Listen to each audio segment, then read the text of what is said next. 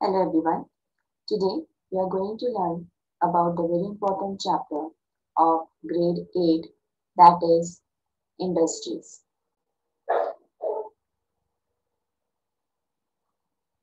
In this, the learning objectives are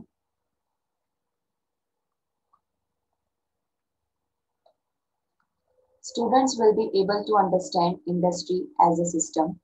Student will be able to know about the factors influencing location of an industries and the student will be able to learn about the classification of an industries. Before that, as we all know that there are three types of economic activity. One is primary, where the people are employed in collecting things from the earth. For example, farming, fishing, mining, etc. Next one that is secondary, where people are employed in manufacturing, means making the stuff. Then third, that is the tertiary, that is where people are employed in providing the services, means helping the people. That all the manufacturing materials are being sent to the people, and that services are come in the tertiary sector. Here in this industry chapter, most importantly, we are going to learn about the secondary economic activities. As you know, an economic activity in which people use the raw materials, that raw materials to produce or manufacture new products of greater value.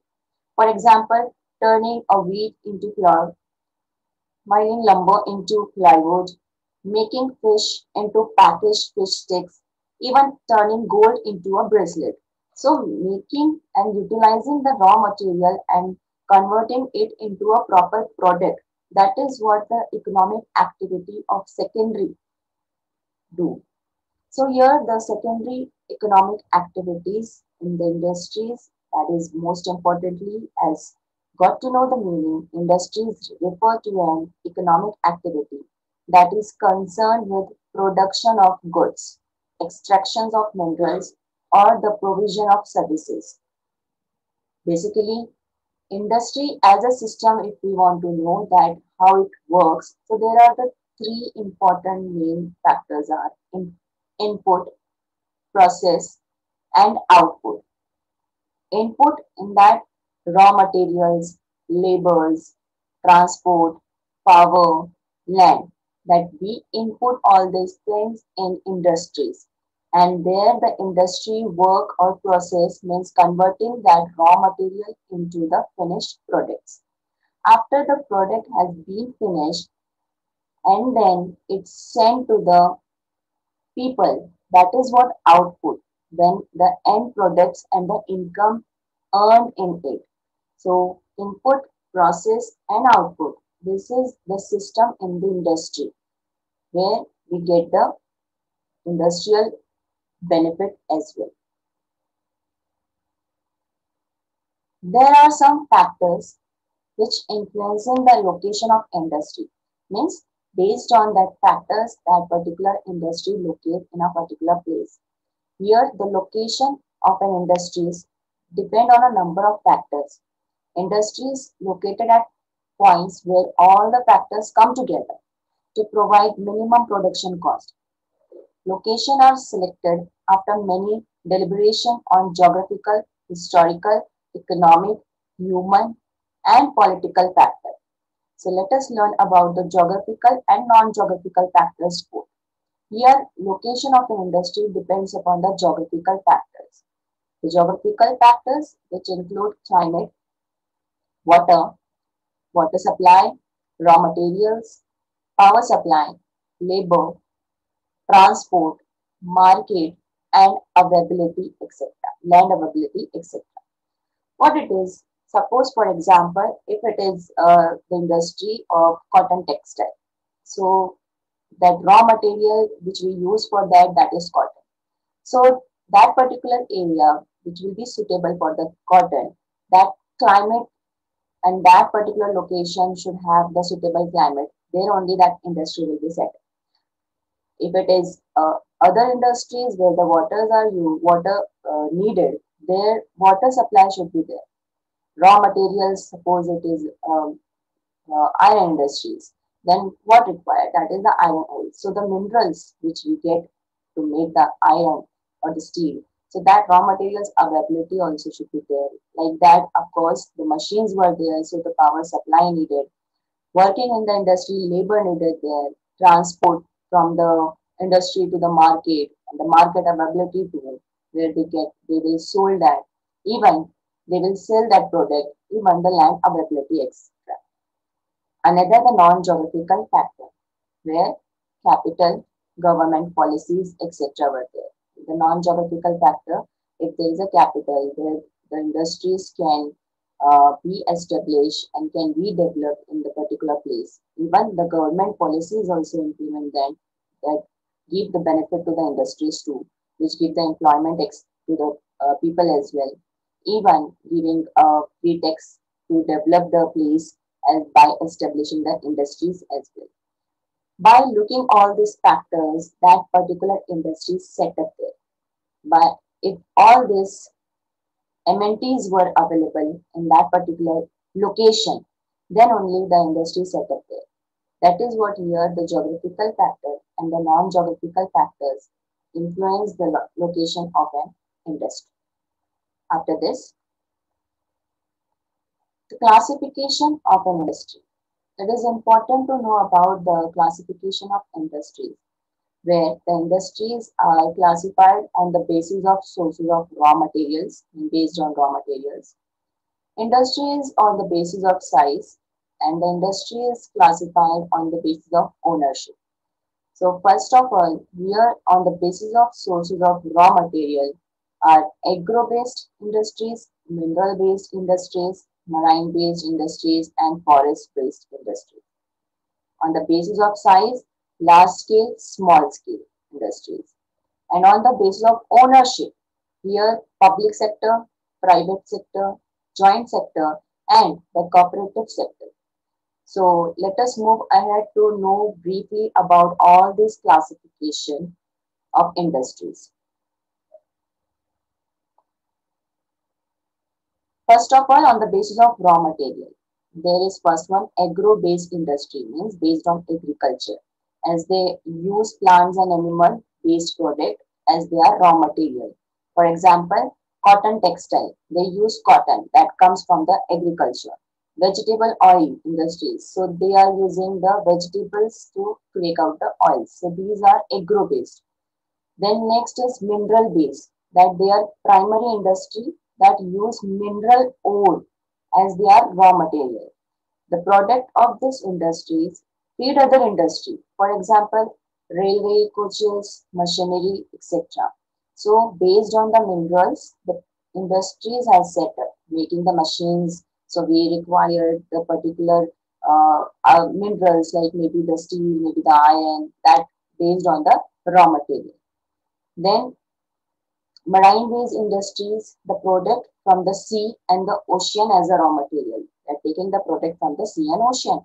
For example, fish oil, seafood, these are the example of the industry. Then last year in the raw material, forest-based industries, that the industries utilize the forest produce as raw material. For example, wax, gum, paper, etc. For making this product, we require this product, we get the raw material from the forest area. Next classification that is industry on the basis of size. There is small scale industries and large scale industries. In the small scale industry, the types of small scale industries are cottage or household. For example, a small scale industry are basket weaving, pottery making, or the other handicraft as well. Small scale industry use lesser amount of capital and technology. That is what here in the small scale industry, that in the small, that in a, in a household they are working and uh, cottage industries were there in the small scale industries. Not more labor are required, not more amount are required, not a amount of capital there the amount of capital and technologies are also less. But when we talk about the large scale industries so in the large scale industries the produce in a large volume when the produce is in a large volume of production. For example the large scale industries um, are textile industries, even the thermal industries too. As uh, investment of capital is higher and the technology used is more.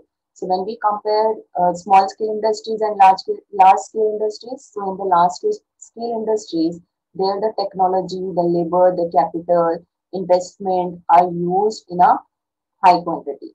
And here in the small scale industry, we, all these things used in a lesser quantity. That is what on the basis of size, small, small scale industry and the large scale industry. Then next, ownership. Based on ownership, the classification of industry. That private sector, as private sector here, they are owned and operated by individual or a group of people. Means individual, individually that industry is run by the, uh, a particular person or maybe the group of individual. Then joint sector here that they are owned and operated by state and individual or a group of individual with the state operated by a state and individual or group of means both. That is what joint sector. Third cooperative sector industry that they are owned and operated by producers or suppliers of raw material workers or both means one uh, producer also included in that suppliers also included that uh, who are supplying the raw materials, even the workers. Means all are working together for that industry that is cooperative sector industry. And then last year, public sector means government sector that they are owned and operated by the government. The industry which comes under the government and that industry run by the government. That is the public sector industry. All in one that in this chapter the basic thing that we have learned that is about the secondary economic activities in which raw materials converted into the new products of great value. Here, industries refer to economic activity that is concerned with production of goods, extraction of minerals, or the provision of services. In that, we have seen the industrial system as well. Industry as a system in which three things are required. Input, process and output. Then only the industry will get the benefit. Then factors we have seen where the location of industries depends upon some factors. If the geographical factors are suitable and non-geographical factors were also suitable for that particular industry, then only that industry set up to a particular location. Then industries classification. There are three classification on the basis of source of raw material, on the basis of size and on the basis of ownership. And briefly, we have learned about this all agro-based, mineral-based, marine-based, forest-based and the raw material. Size industries on the basis of size, small-scale industries, large-scale industries. And on the basis of ownership, public sector, private sector, joint sector, and the cooperative sector. So this is what all the basic thing in the industries that uh, we have learned today about the meaning of industry, about industry as a system, and the classification of an industry. In the next video, we are going, we are going to learn about the regions, industrial regions, and the distributions of industries all over the world, even the major industries. Thank you.